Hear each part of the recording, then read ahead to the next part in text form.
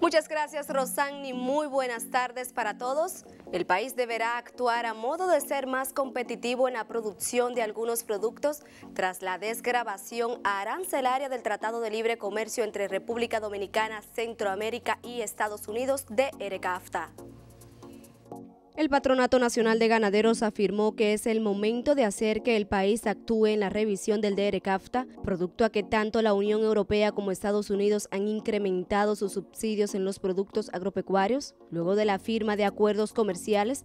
Por tanto, la República Dominicana debería exigir 10 años más de desgrabación arancelaria para los productos sensibles. Dentro de esos productos figuran el arroz, las habichuelas, el laco, la cebolla, las papas, el pollo, el cerdo y la leche.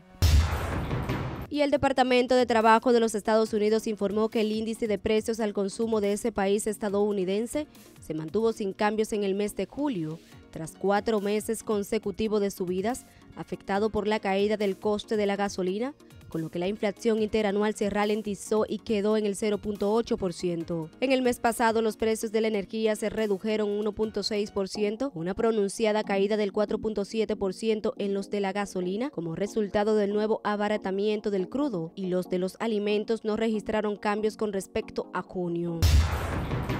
La minera anglo-australiana BHP Vigiton reportó los peores resultados anuales de su historia, con pérdidas de 6.400 millones de dólares, producto a un descenso del 31% en sus ingresos, con el que cayeron a 30.100 millones de dólares. Por la vaca del precio de las materias primas, en su último año fiscal BHP registró un beneficio de 1.900 millones, un 14% de los 13.800 millones de dólares que ganó en el 2013-2014 y el Departamento del Tesoro de Puerto Rico retendrá temporalmente 252 millones de dólares de reembolsos fiscales debido a que está falto de recursos en medio de una crisis económica que afecta a la isla. El secretario Juan Zaragoza dijo que la agencia desembolsará unos 40 millones de dólares una vez que reciba unos 400 millones que anticipa recibir a finales de este mes, ya que un total de 155 mil personas esperan la devolución de sus impuestos, el cual les será devuelto con un interés de un 6%. Se recuerda que Puerto Rico padece una crisis económica que lleva casi una década